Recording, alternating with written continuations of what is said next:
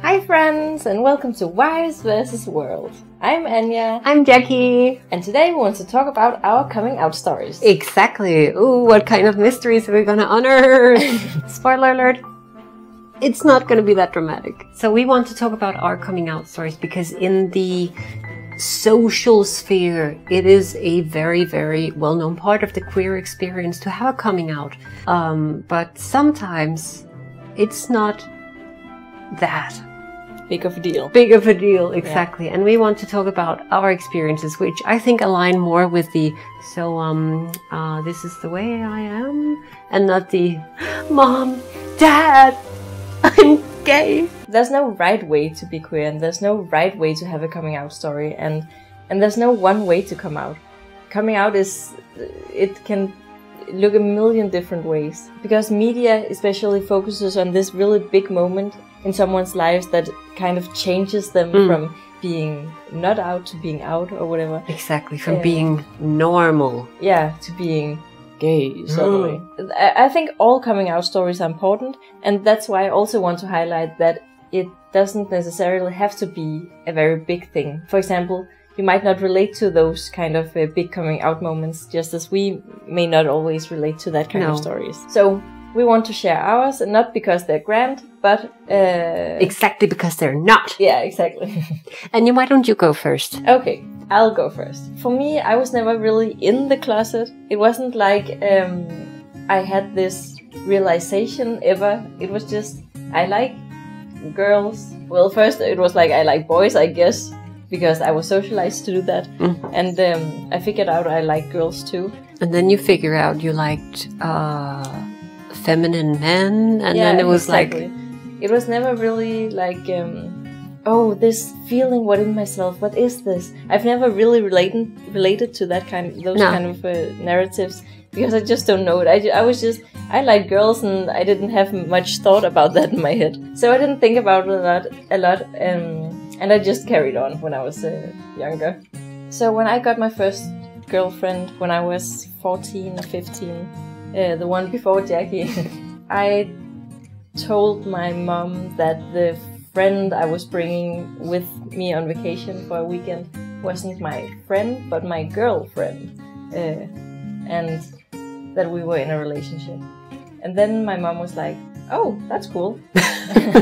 that's your mom Yeah. And then I said, Oh, really? I thought maybe you would be angry. and then she said, Why would I be angry? I have friends who are lesbians. And then she made dinner and we ate dinner and then we didn't talk about it again. And that's kind of the only coming out moment I, I have.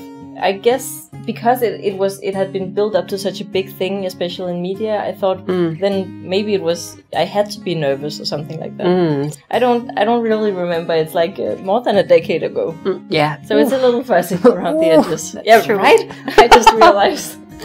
um, so the next coming out experience I had, I guess, was when I brought my second girlfriend home.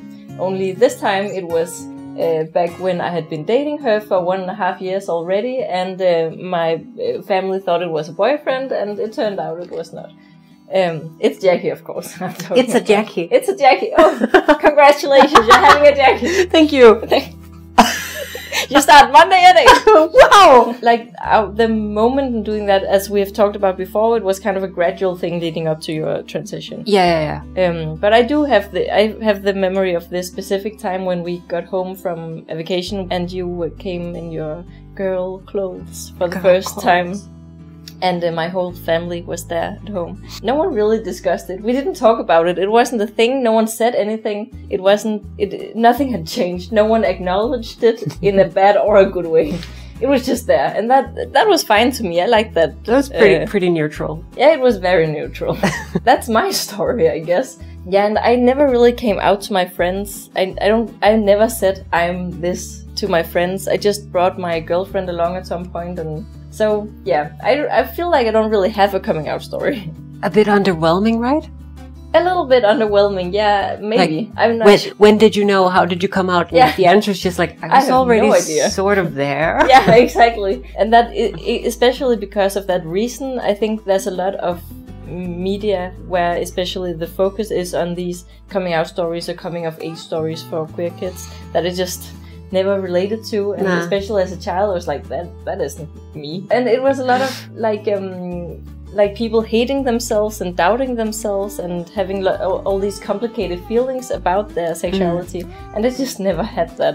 No, I guess if you're so certain of yourself and if you grow up in an environment that's so accepting of whoever you are, Mm. Why would you ever experience that? Yeah, exactly. You know, that's privilege for you. It is, and I'm happy about that, and I that's why. I'm sharing it as well. True. Yeah. What about you?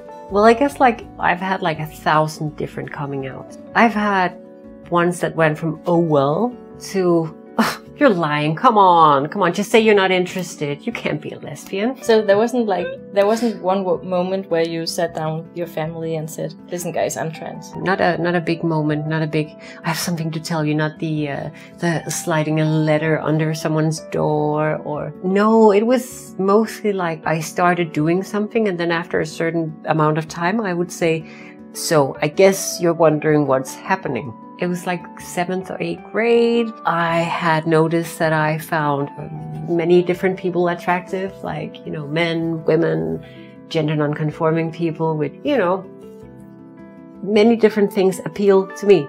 So I guess that time I was like, well, I guess I'm bisexual, I think. And like, since then I've found out I'm mainly into women. I, there are some men I like, not that many of it's, it's very, sexuality is so complicated, guys. I'm in, I'm anisexual. I mean, that's the, the way to put it, really. But as for the whole trans thing, I don't remember what I wrote. Well, my mom would set set us down from time to time, be like, "Oh, I love you," or stuff like that. Or if we saw uh, gay people on the television, she would always make a point to say to us, "I will love you." No matter who you love. As for coming out as trans, oh boy, that was a staggered release. I mean, it came in Tiny increments. tiny increments. I was telling like different people at uh, at the time when I I sort of figured I could not not. It, it was more like so. Okay, now I tell my bandmates. You know, now I tell them they, they're cool guys. So they're used to the sort of idea of you know gender nonconformity. Uh, they'll be able to handle it. Then some other friends, then some here, then some there, and then of course at some point I had to tell Anya, uh, and she took it so well, and that was just it from there. I didn't actually tell my parents until sometime after I had left home and I lived with you guys for a while and, and we came back and, and I said, well, here's the deal and this is what I'm going through and this is what's going to And there was some initial confusion because like being trans is, I guess, not the same as loving whoever I wanted to love. Uh, so we had to work through that. And I think somewhere during the past 10 years, we have found a comfortable spot that we can be a family in. Even though it was not always that easy, but like, I still remember the first time my parents called me their daughter. That was a really big moment for me. Not just, well, I think they caught on at some point. It was like, eh, sometimes it was she, sometimes it would, it was he. So I think the only like real talk we had about it was exactly setting them down and being like, this is the name, the, these are the pronouns. If you want to see me or my girlfriend ever again, that's just something you're going to have to get used to or else it's i just don't want to be part of your life But there was no like the coming out moment in itself wasn't wasn't the big deal. There was no no it, discussion about it or reaction to it or no just like with my sexuality it Yeah. just it just sort of manifested itself and people were like cool with it yeah. uh but then like as i said i've had to come out you've also had to come out like a thousand times whenever like if it's someone calling with like insurance if it's someone uh, like uh, whatever it may be, we have had to have the internet installed. Well, um, I'm not at home, but uh, uh, my cast is at home, and then they'll be like, "Oh, when is he?" Blah blah blah, and then at some point you'd have to specify. Actually, it's a she that's coming out. A And to all million. the classmates and Exactly. people you talk to and colleagues and stuff like that. That's just part of it. Mm. And I think when we talk about coming out, I think we're very quick to make it about the initial uh, realization or the initial telling someone else about it, and that's the significance of it. Mm. But I feel like we don't really, well, I feel like we talk about it, but I don't feel like society as a whole. It's like, y if you come out one time, then it's fixed. Then everyone knows and you are fixed and you Yeah. can go on with your life. And that's not- kind of the it's not- narrative that's built up, right? Exactly. It's not like we get like a rainbow tattooed on our No. forehead and then you can just say, Oh, I see, you're one of them. Yeah. Like if you're straight passing or cis passing, that is just something that, as far as is relevant to do, you, you just have to come out again and again and again and again and again. And that's okay. That's a kind of privilege, even though it gets really old. Yeah.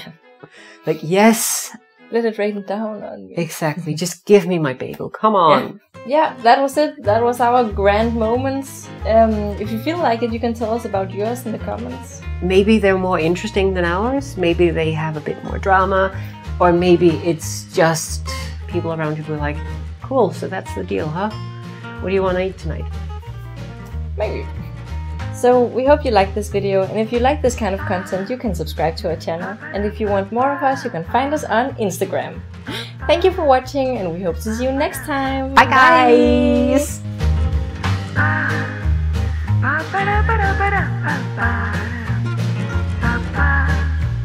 Ba-ba-da.